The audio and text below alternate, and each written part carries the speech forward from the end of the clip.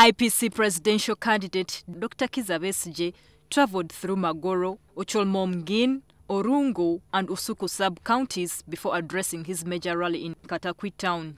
He pledged to rebuild Teso to restore its lost glory.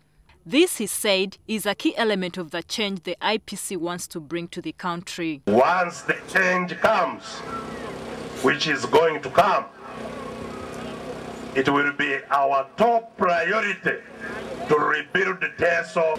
We have the resources, we have a good plan, we have good leaders. Dr. Besje also emphasized that the IPC will provide quality and affordable education. They are going to invest in the infrastructure of education, classrooms, scholastic materials, teachers' houses, and the rest.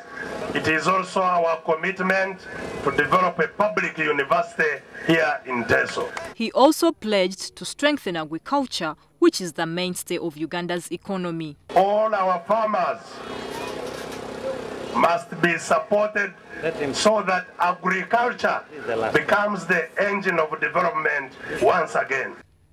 And as a parting shot, Dr. Besigye, a three-time presidential candidate, assured the people that their votes will be guarded against election thieves. We are now training all our leaders on what to do to protect our votes. And we shall announce by ourselves the results of the next elections before Kikundu can announce the results.